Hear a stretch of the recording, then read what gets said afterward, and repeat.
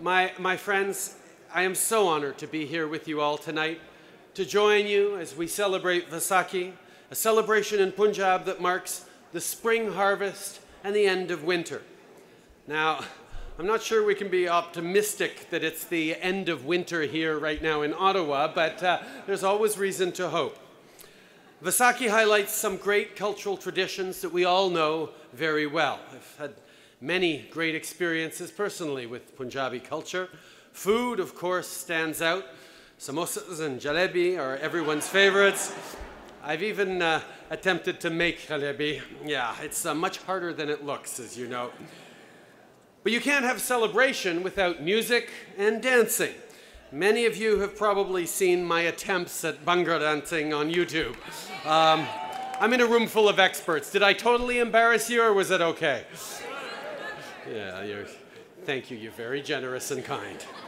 Now, as a kid growing up uh, with our winters here, I didn't have much a sense of what a spring harvest might be, except, of course, it was the time where we harvested maple syrup. Uh, but I know uh, that uh, right now there's a generation of uh, young people right across this country who know that there is such thing as a spring harvest uh, because young people across this country in high schools uh, and elementary schools from coast to coast to coast now celebrate Vaisakhi. This is an opportunity uh, not just to learn about uh, but uh, people share their holidays uh, and their diversity.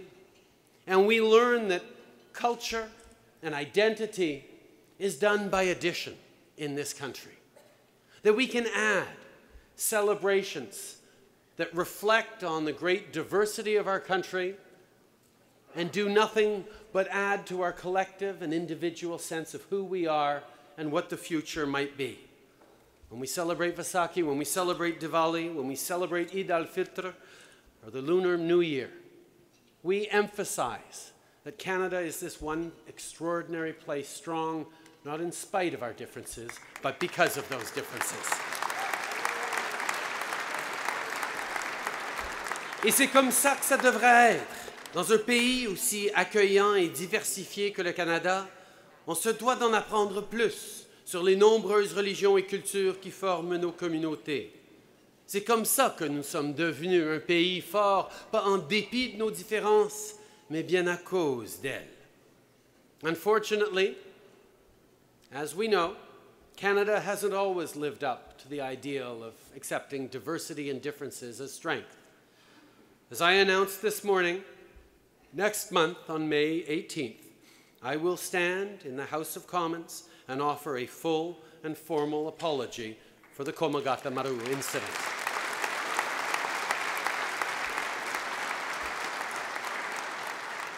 But just as we look back and acknowledge where we have failed, so too do we need to celebrate the remarkable success of the Sikh community here in Canada, and Vaisakhi is the perfect opportunity to do just that. And I know this past year has been a really remarkable one for Canadian Sikhs, particularly in politics. My friends, I am so proud to serve in a parliament that has 17 Sikh members.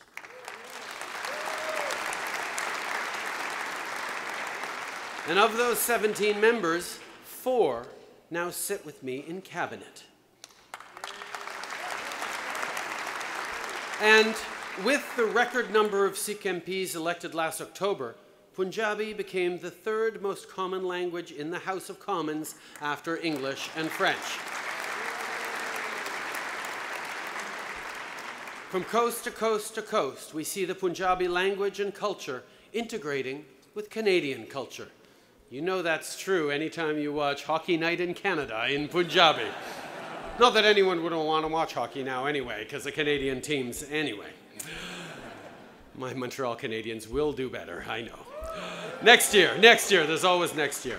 Those of you from Brampton and Mississauga, maybe one day you'll get a hockey team that you can haul your own. No, I mean, I mean one for Brampton or Mississauga, because the Toronto one's not working out so well for you. Now, all of these different perspectives are truly what make Canada great, even though you know, there's no accounting for some tastes in hockey. I don't want to keep you much longer because I know there is some outstanding entertainment to come. Tonight we've got Satinder Sartaaj performing for us. And uh, I know the Bhangra performance will be much better than you see on YouTube. So, on behalf of the Government of Canada, the people of Canada, and of course, uh, Sophie and my own family, I offer my very best wishes for happiness, good health, and prosperity on this Vaisakhi. Happy Vaisakhi, everyone. Merci beaucoup. Thank you very much.